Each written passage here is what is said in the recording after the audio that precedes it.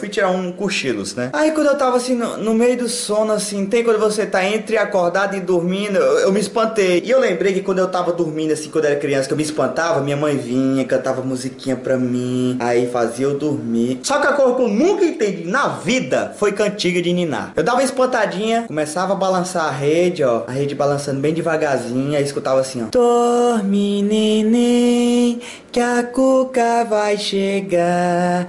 Papai foi pra roça e mamãe foi trabalhar. Peraí, peraí. Papai foi pra roça, mamãe foi trabalhar. Aqui em casa não tem empregado. Quem é que tá balançando a rede, meu Deus do céu? É atividade paranormal, sai, Jesus, me abençoe. O meu Deus é o Deus forte, o grande é o Shaddai, todo poderoso Adonai. Ainda tinha outra. Esse gatinho de cima do telhado, pra ver se essa criança dorme um sono sossegado. Que gato em cima do telhado, vocês sabem como é que é, né? Ficam os três. Hum?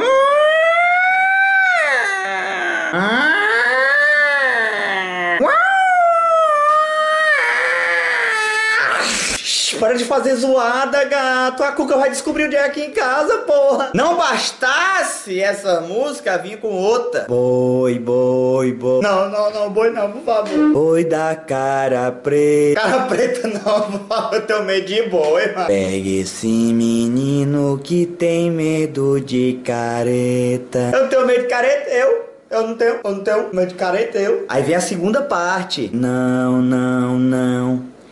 Não, coitadinho, ele tá chorando porque ele é bonitinho. Então vocês sabiam que eu ia chorar. Já estava premeditado. Se sabia que eu ia chorar, pra que cantou? Não é pra fazer eu dormir? É pra dormir ou é pra chorar? É pra dormir, porque dormir chorando não tem como. Já viu dormir chorando?